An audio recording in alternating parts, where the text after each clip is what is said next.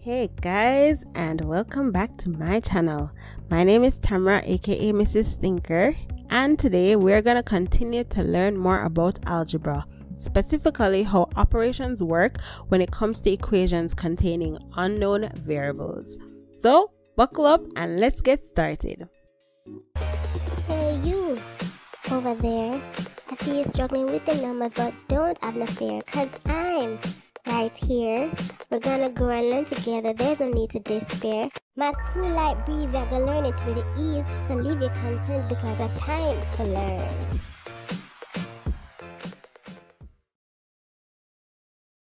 Okay, so first things first, a few videos back I explained the difference between like terms and unlike terms and I mentioned that being able to identify them is key when it comes to solving algebraic equations. If you haven't seen that video, be sure to check it out to get a proper understanding of what like and unlike terms are because we'll definitely need some of that knowledge to help us with the video today. Also, something that I want to touch on is the idea of simplifying algebraic expressions. This means that usually we always try to write our expression in the simplest form possible. That comes from knowing how each operation works in such an expression. Let's begin with like terms. Now I'm going to be using an example I did previously with pineapples and oranges where P represents pineapples and O represents oranges. So let's go. Now with addition, here's our first example. Here we have two like terms that we're adding. Now when adding like terms, we can always simplify using the idea of grouping or multiplication. In a volume 1 video, I spoke about multiplication being the shortcut for addition, and it's based on the idea of adding the same group a number of times. So if we had 4 being added 2 times, we could shortcut it by saying 2 times 4 or 4 times 2. Those are actual numbers. Here we have the same term p being added two times and so we write this as 2 times p or p times 2 but I think I also mentioned that usually we always write the known number first and the unknown variable beside it.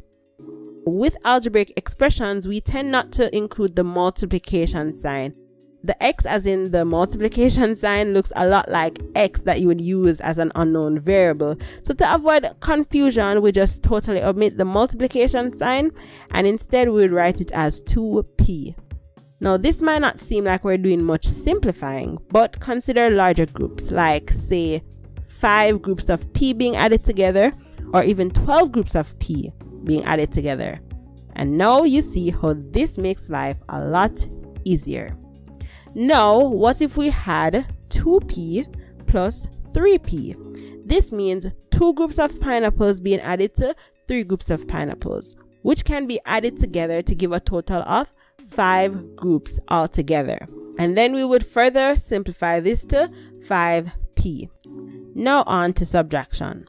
First of all, p minus p is going to be equal to 0 because if we subtract any number from itself, the answer is always what? 0. But how about different groups? Like, for example, 10p minus 4p. This works similarly to addition, meaning it can always be simplified by subtracting the known numbers. If we have 10 groups of pineapples and subtract 4 groups from it, we would be left with 6 groups. So we say 6p. The shortcut is this. No matter what the terms are, as long as they are like terms, to add or subtract, simply add or subtract the known numbers and then write the like term to get the final result. Now there is a way to multiply and divide like terms, but that's really left for high school, so we won't touch on it in this video. So now let's move on to unlike terms and let's bring back our P and our O, starting with addition. Now, P plus O, these are not like terms. So we can't use multiplication because multiplication is based on the fact that the groups must be alike. In this case, P and O mean two different something. They're not like. So we cannot simplify by using multiplication. So there's actually no way to simplify this expression. This is already in its simplest form. P plus O is equal to P plus O. How about 4P plus 2O? Again, there is no further way to simplify this because P and O are unlike terms. Now, I hope you guys are seeing what I'm saying, you know. Subtracting is the exact same. If we have 5o minus 3p, this cannot be simplified any further because they are unlike terms. And so we just have to leave it as is. Now let's look at a few examples. Our first example is 3p plus 2o plus 6p minus o. And we want to simplify this expression. So we're seeing some P's and some O's, okay?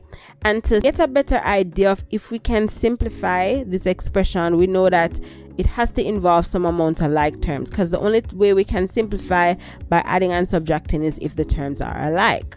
So the first thing we're going to do is we're going to do something called grouping like terms to each other. What this means is we're going to rearrange the expression so that all the like terms are directly beside each other. So we want to move the 6p so that it's directly beside the 3p and then we want to move the 2o beside the o because those are like terms. And so we're gonna rewrite our expression. Now if you guys are confused about the plus and the minus sign whenever we're moving a term the operation in front of it moves with it as well so watch me now we're gonna move our 6p to go beside our 3p so we write the 3p and when we're moving the 6p, we move the operation in front of it, which is the plus. So it becomes 3p plus 6p. Now we write plus 2o and then we have minus o. So now we have our like terms, p's, and our other like terms, o's, directly beside each other. And now we can simplify. 3p plus 6p based on our earlier examples would be equal to 9p. And 2o minus o, which is the same as 1o, would equal to 1o or just o. And so now we're left with 9p plus o. We now have an expression with two unlike terms. That means that it cannot be further simplified, and so it's in its simplest form possible. Here's a little bit more complicated of an example. 4xy minus 5a plus 9a squared plus 5xy minus 6a squared. And we're gonna simplify this expression. Now, like I said, it's a little bit more complicated, but we have to just follow the basic rules and the first one, like I said before, is that we're going to group our like terms together. So I'm seeing some like terms. I'm seeing xy, I'm seeing a, and I'm seeing a squared. These are all different terms. Remember that they're only like or alike if they look the exact same, right? So let's group all of those like terms together. We're going to start with our 4xy there's another xy, so we're to move the plus 5xy directly beside it, right? Okay. Then we have two a squared terms. So my, I'm to put the plus 9a squared, right? And then I'm to move the minus 6a squared directly beside it. And then finally, we're to write our minus 5a term because there's no other a there that we can pair it with. So now we have just rearranged our expression so that all the like terms are directly beside each other and then we can simplify. So 4xy plus 5xy. We're going to add the known numbers 4 plus 5 to give 9. Write the term xy and then continue. 9a squared minus 6a squared would be equal to subtracting 9 minus 6, so 3a squared and finally, we write the minus 5a as is, and that is our expression in its simplest form. Now, all these terms that are left are not like terms, therefore, we cannot simplify it any further, and there we have it. Now, I know you probably won't be seeing such scary looking terms in our exams. However, I think understanding the basic means that it really doesn't matter what the terms look like. What's the most important is being able to tell whether they are like terms or unlike terms, being able to tell whether we're adding or subtracting, and being able to know how to simplify adding and subtracting like terms. Good? Now let's recap today's lesson. Algebraic expressions should always be written in their simplest form by using the idea of like and unlike terms. For like terms, when adding or subtracting, we can simplify by adding or subtracting the known numbers first and then writing the like term beside it for the final result. For unlike terms, however, they cannot be further simplified through adding or subtracting. And that's it for today's lesson. Remember to like this video if you enjoyed it, comment below if you learned something new, and finally, be a friend and tell a friend. Remember, we're all in this together because math is life.